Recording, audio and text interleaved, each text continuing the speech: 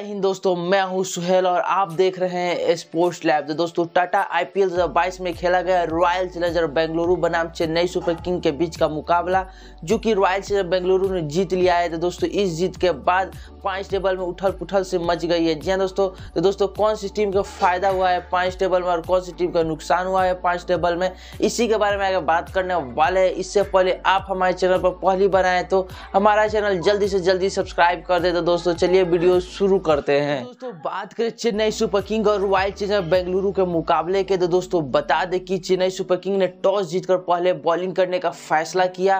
तो दोस्तों बता दें कि रॉयल चैलेंजर पहले बैटिंग करते हुए एक रन बनाए, आठ विकेट खोकर चेन्नई सुपर किंग के खिलाफ। तो दोस्तों बता दें चेन्नई सुपर किंग की टीम मात्र 160 रन बना सकी, आठ विकेट खोकर। तो दोस्तों इस तरह यह मुकाबला चेन्नई सुपर किंग को रॉयल चैलेंजर बेंगलुरु ने तेरह रनों से हरा दिया है। तो दोस्तों बता दें कि man of the match royal challenger Bengaluru की तरफ़ से हर्षल पटेल रहे। जी दोस्तों, बता दें, हर्षल पटेल ने तीन विकेट झटके, बेहद ही महत्वपूर्ण विकेट था। तो दोस्तों, इसके बाद बात करें पॉइंट टेबल का। तो दोस्तों, बता दें कि नंबर दस पर है मुंबई इंडियंस। नौ मुकाबला खेली है एक जीती है आठ हारी है और पॉइंट से दो। और दो दोस्तों प्लेऑफ के दौर से मुंबई इंडियंस लगभग लगभग बाहर हो चुकी है। वहीं दोस्तों, नंबर नौ पर है चेन्नई सुपर किंग। दस मुकाबला खेली है तीन जीती है सात हारी है और पॉइंट से छः और चेन्नई सुपर किंग भी प्लेऑफ के दौर से बाहर हो चुकी है लगभग लगभग।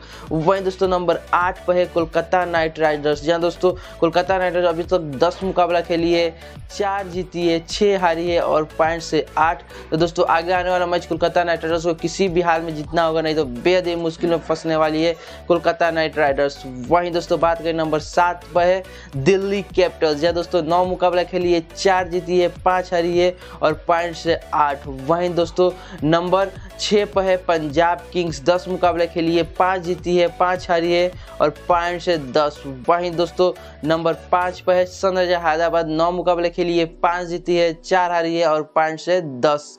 वहीं दोस्तों, बात करें टॉप फोर टीम का तो दोस्तों, नंबर चार पर है रॉयल चैलेंजर बेंगलुरु ग्यारह मुकाबले खेली है छः जीती है, पाँच हारी और पॉइंट से बारह। वहीं दोस्तों, नंबर तीन पर है राजस्थान रॉयल्स। दस मुकाबले खेली है छः जीती है, चार हारी और पॉइंट से बारह। वहीं दोस्तों, नंबर दो पर है लखनऊ सुपर जैन दस मुकाबले के लिए सात जीती है, तीन हारी और पॉइंट से चौदह।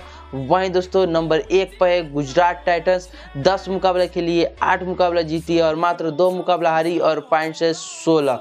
तो दोस्तों, यह है latest point table Tata IPL 2022 का। तो दोस्तों, आपको यह वीडियो कैसा लगा हमें कमेंट कर ज़रूर बताइए। वहीं दोस्तों, यह खबर आपको अच्छा लगा तो अपने दोस्तों को पास शेयर ज़रूर कीजिए। तब तक ले मिलते हैं हम आपको अगले वीडियो में।